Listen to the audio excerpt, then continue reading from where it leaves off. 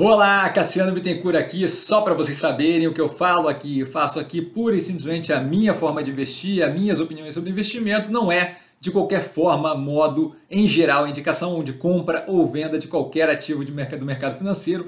E agora o vídeo, valeu!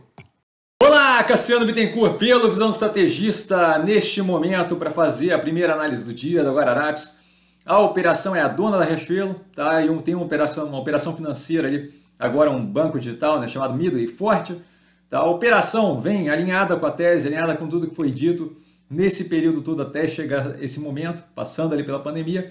Tá? Uma recuperação paulatina como esperada, sem muito a explorar aqui nesse trimestre. Tá? A gente tem o trimestre anterior com algumas informações a mais, o quarto trimestre de 2021 com uma exploração mais profunda aqui, bem tranquilo, resultado ainda com espaço para evolução mas o preço extremamente descontado, não, não justificado. Tá?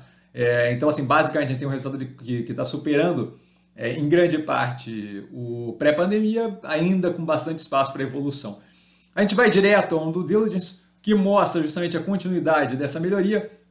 Receita líquida consolidada é, com crescimento de 28,8% year on year, basicamente uma continuidade da retomada. Quando a gente olha a parte da Riachuelo ali de mercadorias, a gente vê uma receita líquida é, acima do pré-pandemia, com same store sales, vendas em mesmas lojas forte, tá? bem agressivo ali, tá? com margem bruta novamente acima dos níveis pré-pandemia, denotando justamente uma evolução com sustentabilidade da operação como um todo, voltando ali a operar em níveis bem positivos, refletido também no EBITDA de mercadorias, com maior diluição dos custos e despesas, causando ali uma melhoria na margem considerável no que tange EBITDA de mercadorias. Tá?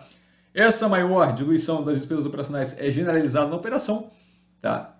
demonstrada aí pela representação com o percentual da receita líquida, que acaba refletindo também positivamente no EBITDA ajustado consolidado, que supera o pré-pandemia. Então estamos aí numa direção bem positiva.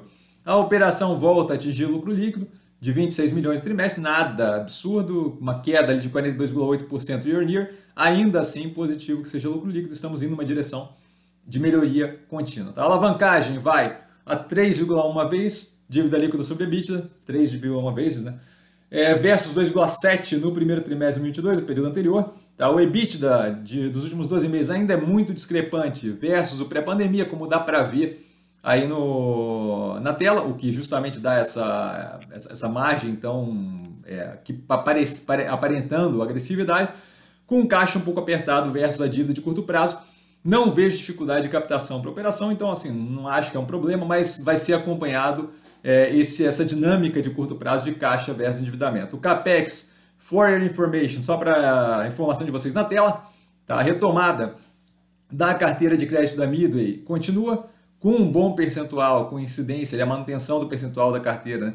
com incidência de juros e um crescimento considerável na carteira, o que é bem positivo, e com níveis controlados de inadimplência, como a gente pode ver, um delta aumento ali no nível de cartão de crédito, o empréstimo pessoal em, consideração, reduzindo agressivamente é, resultado daquele trabalho feito por eles de controle de carteira, de preventivamente reduzindo é, a possibilidade de inadimplência. Então, a operação ainda em recuperação, mas eu vejo um retorno sem dificuldade aos níveis é, operacionais é, anteriores, acrescido de toda a evolução tecnológica, de omnicanal e por aí vai.